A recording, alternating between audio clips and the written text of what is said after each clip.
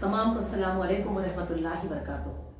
فاؤز باللہ من الشیطان الرجیم، بسم اللہ الرحمن الرحیم۔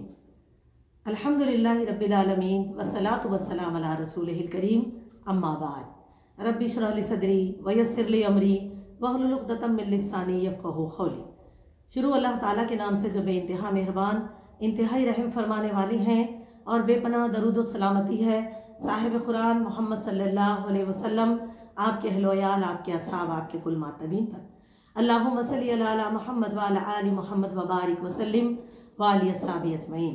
تو عزیز دینی بہنوں، چلیے تو سلسلے وار جس طرح ہم ازواج متحرات کی سیرت طیبہ کے تعلق سے سن رہے ہیں، تو انشاءاللہ تعالی آج کے کلپ میں ہم لوگ رسول اللہ صلی اللہ علیہ وسلم کے پانچویں زوجہ متحرہ یعنی کہ پانچویں ام المومنین زینب بنت خزیمہ رضی اللہ تعالی عنہ کے تعلق سے جانیں گے۔ رسول اللہ صلی اللہ علیہ وسلم کے پانچویں زوجہ متحرہ آپ کا نام زینب تھا اور آپ کا لخب تھا ام المساکین اور آپ کے والد کا نام خزیمہ بن حارسہ تھا۔ آپ کا سلسلہ نصب کچھ ایسے ہے، خزیمہ بن حارسہ بن عبداللہ بن امرو بن عبد مناف بن حلال بن عامر بن ساسا اور زینب رضی اللہ تعالیٰ عنہ کے اخلاق کے تعلق سے ہمیں ملتا ہے کہ شروع ہی سے نہایت دریا دل اور کشادہ دست خاتون تھے اور غریبوں اور مسکینوں پر دل کھول کر خرچ کیا کرتے تھے۔ بھوکوں کو کھانا کھلانے میں ہمیشہ آگے آگے رہتے۔ اسی لیے تو عرب میں ام المساکین کے نام سے مشہور تھے۔ زمانے اسلام سے پہلے بھی آپ کو بہت اچھے نام سے پہچانا جاتا تھا۔ الحمدللہ اور اس طرح ہم دیکھتے ہیں ان کا نکاح۔ ام المسا زینب رضی اللہ تعالیٰ عنہ کا پہلا نکاح رسول اللہ صلی اللہ علیہ وسلم کے پھپیرے بھائی عبداللہ بن جہش سے ہوا تھا۔ اور عبداللہ بن جہش ایک جلیل الخدر صاحبی ہیں جو بڑے بہترین مجاہدین میں سے تھے۔ تو جیسے کہ میری دینی بہنوں، ہجرت کے بعد جنگوں کے جو سلسلوں کی شروعات ہوئی، تو مجاہدانہ نے اسلام اپنے اللہ کو راضی کرنے سے کہاں پیچھے رہتے؟ تو جن شجی، بہادر اور یعنی کہ راہ اللہ میں جام شہادت پینے کی دلوں میں آرزو لے کر آگے بڑھنے والوں میں عبداللہ بن جہش کا بھی شمار ہے۔ جیسے کہ ہم دیکھتے ہیں، جنگ بدر، جنگ احد میں عبداللہ بن جہش رضی اللہ تعالیٰ عنہ نے حصہ لیا تھا اور ان کے تعلق سے یہ مشہور ہے کہ جنگ میں شروعات سے پہلے انہوں نے اپنے اللہ تعالیٰ سے دعا کی تھی اور وہ دعا کچھ ایسے تھی، وہ الفاظ جو ہمیں ملتے ہیں سیرت میں، یہ زینب رضی اللہ تعالیٰ عنہ کے پہلے شوہر عبداللہ بن جہش جو نبی صلی اللہ علیہ وسلم کے پھپیرے بھائی تھے، جب میدان احد میں پہنچے تو شروعات جنگ سے پہلے جو انہوں نے دعا کی کہ اے خالق کائنات، مجھے ایسا مد مقابل عطا کر جو مجھ سے زیادہ بہادر، مجھ سے زیادہ شجی اور مجھ سے زیادہ طاقتور ہو اور مجھ سے لڑے اور وہ مجھ سے ایسے لڑے کہ وہ مجھ پر غالب آ جائے اور میں اس کے ہاتھوں شہید ہو جاؤں۔ پھر وہ میرے ناک، کان اور ہونٹ کاٹ لے اور آپ نے کہا کہ رب العالمین اور جب میں اس حال میں تجھ سے ملوں گا، تو تو مجھ سے سوال کرے گا کہ اے عبداللہ، تیرے ہونٹ، کان اور ناک کیوں کاٹے گئے؟ تب میں تجھ سے کہوں گا، رب العالمین، یہ تیرے اور تیرے رسول کے لیے میں قربان ہوئے۔ عزیز دینی بہنوں، یہ ان کی دلی آرزو تھی۔ اور اسی طرح سے آپ نے کہا، اللہ کی قسم، میں دشمن سے ایسے لڑوں گا، حتیٰ کہ وہ مجھے قتل کر کے میری لاش کا مسئلہ کر لے۔ یعنی کہ یہ جو ان کی دلی آرزو جام شہادت پینے کی تھی اللہ تعالیٰ نے اس آرزو کو جنگ احد میں پورا فرمایا۔ اور ایسے ہی ہوا، جنگ احد میں جب آپ نے عبداللہ بن جہش رضی اللہ عنہ نے حصہ لیا، تو ایسے ہی لڑتے رہے۔ یہاں تک کہ تاریخ جنگ کا نقشہ ہمیں کچھ ایسے ملتا ہے کہ وہ ایسے لڑے اپنے یعنی کہ دشمنان اسلام سے کہ لڑتے لڑتے ان کی تلوار ٹوٹ گئی۔ تو انہوں نے آپ صلی اللہ علیہ وسلم کے آگے اپنے آپ کو گئے۔ تو رسول اللہ صلی اللہ علیہ وسلم نے ان کے ہاتھ میں کھجور کی ایک چھڑی دے دی۔ اور کہا، جاؤ اس سے تلوار کا کام لو. اور آپ رضی اللہ انہوں نے اسی کو تلوار کی طرح استعمال کیا اور دشمنوں سے لڑتے رہے۔ لڑتے لڑتے لڑتے لڑتے جام شہادت پی لیا۔ تو اس طرح سے جب اللہ تعالیٰ نے وہ انہوں نے جام شہادت پی لیا۔ تو میری عزیز دینی بہنوں، اب جو ہے، ان کی آرزو پوری ہوئی اور دشمنوں نے بالکل ویسے ہی کیا۔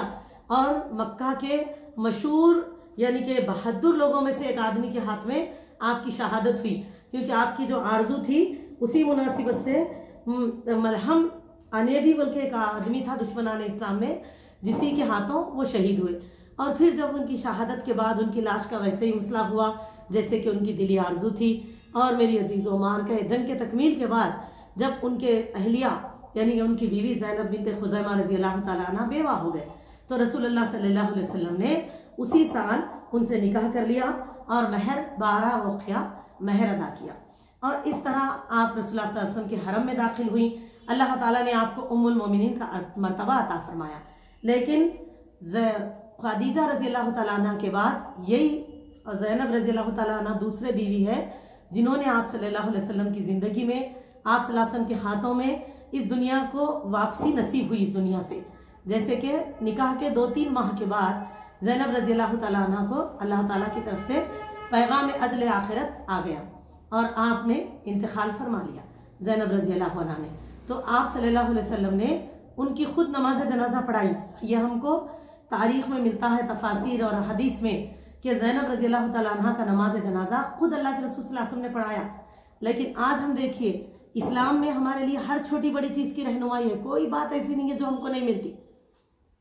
لیکن آج ہم کچھ چیزیں ایسی ہوتی ہیں جو ہم کو عام عمل میں آنے والی ہوتی ہیں اور ہمارے دلوں کو بھا جاتی ہیں، تو وہ تو ہم سنتوں کو نہیں چھوڑتے۔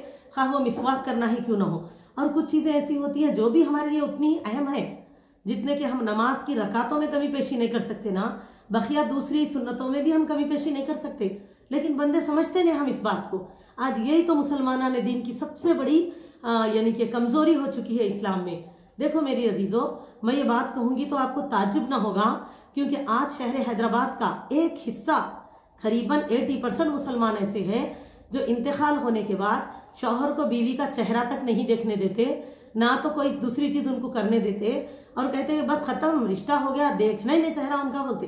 اگر بیوی کا انتقال ہو جائے شوہر کی زندگی میں تو۔ جبکہ دیکھیں آپ صلی اللہ علیہ وسلم نے خود اپنی بیوی کی نماز جنازہ پڑھائی۔ لیکن کوئی ایسا رسم نہیں کیا۔ زیارت چہلم، دسواں، برسی، یہ نہیں کیا۔ جبکہ وہ جو چیزیں نہیں ہیں، آج ہم کرتے ہیں۔ اور جو چیزیں ہیں، ان چیزوں کو ہم یہ نہیں یہ کرتے۔ اور اللہ تعالیٰ ہمیں ہدایت دے۔ اگر کوئی ایسا معاملہ ہو، تو ہم کو سمجھانا چاہیے کہ یہ تمام اپنے طرف سے گھڑی گھڑائی چیزوں کو ہم سنت بناتے چلیں گے، تو کل اللہ تعالیٰ کے ہاں ہمیں اس کی جواب دہی کرنی پڑے گی۔ اور یہ بہت بڑا معاملہ ہے یوم آخرت کے دن کا۔